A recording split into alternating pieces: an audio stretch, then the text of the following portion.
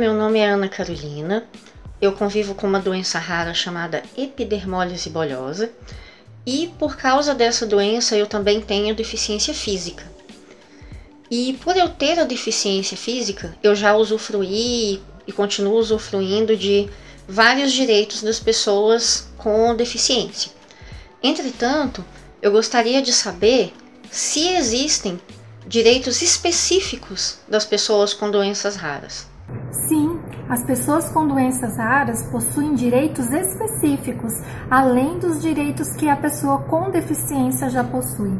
Lembrando que às vezes uma pessoa com deficiência, ela não possui uma doença rara. Então, a pessoa com doença rara, ela possui direitos específicos, principalmente ao atendimento multidisciplinar e ao atendimento da sua doença rara, medicação, enfim, todos os tratamentos a, aos quais ela, ela tem direito. Eu me chamo Priscila. Em 2013 eu descobri que eu sou portadora do lupus. Eu gostaria de saber se pessoas com doenças raras são consideradas deficientes e se a gente pode ter direito a cotas para concurso, por exemplo. Sim, com certeza. Não só podem ser equiparados a uma pessoa com deficiência, como em alguns tipos de doença rara, a pessoa é tida como deficiente. E existe um terceiro subtipo ainda, que a lei trata, que é a pessoa com mobilidade reduzida de forma permanente. Então, em um desses três tipos, a pessoa com doença rara poderá ser enquadrada. Já no caso dos concursos públicos, a gente tem que ter um pouquinho mais de cuidado, pois a lei que, que vigora, que, que é a válida, é a lei do edital. Então, cada edital vai ali é, determinar o que ele exige para que você possa concorrer à vaga é, na cota das pessoas com deficiência.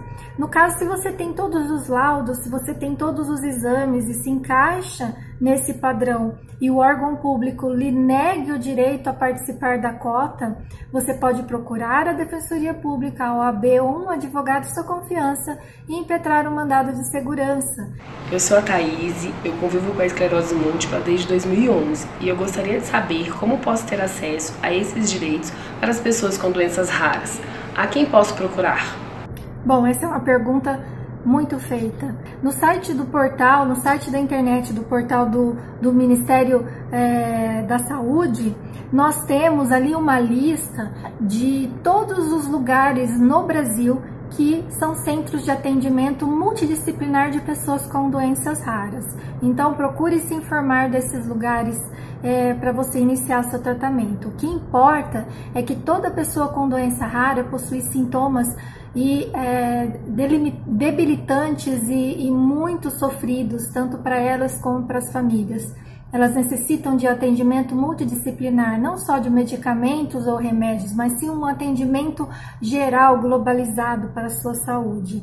Caso é, algum desses direitos lhe seja negado, você tenha o seu laudo, então é, você deve procurar a Defensoria Pública se não houver a Defensoria Pública, a OAB da sua cidade, um advogado de sua confiança, pegar todos esses documentos e laudos que você tem e levar até para fazer valer os seus direitos, os seus tratamentos de forma específica. É, muitas das vezes, nós portadores de doenças raras temos e vamos ter que entrar via judiciário para garantir nossos direitos. Eu digo nós porque eu também sou portadora de uma doença rara, então eu sei exatamente que o caminho é muito difícil, então não desistam, lutem, procure, conversem, se unam.